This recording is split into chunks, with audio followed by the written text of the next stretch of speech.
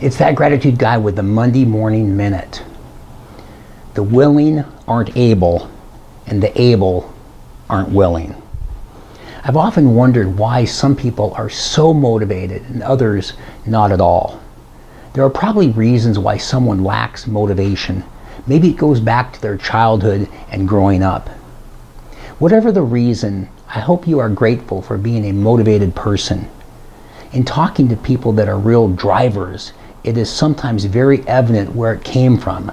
But in many cases, the answer as to why someone is motivated or not is simply, I don't know.